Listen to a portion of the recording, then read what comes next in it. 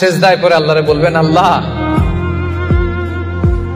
এই পৃথিবীতে আমি ছাড়া তোমার গোলামের অভাব নাই, কিন্তু তুমি ছাড়া আমার দ্বিতীয় কোনো রব নাই। চোখের পানি ছেড়ে আল্লাহরে ডেকে বলেন, আল্লাহ,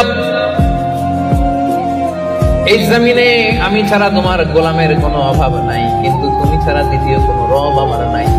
তুমি ছাড়া দ্বিতীয় কোনো জায়গায় যাওয়ার সুযোগ আমার নাই।